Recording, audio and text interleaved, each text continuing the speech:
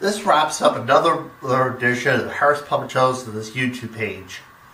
I'm so glad we had this time together and all that. Especially had this time together. Glad we had this time together.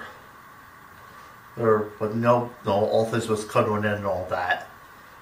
But, uh, has great fun, amazing stuff. A lot of great fun stuff, amazing stuff. But I feel it's time to wrap up this page right now. So come on down right now. We'll see amazing stuff, a lot of great stuff, lot of great comedy, a lot of great talent. Who knows? Maybe we'll see you at Harris Puppets 4. God bless.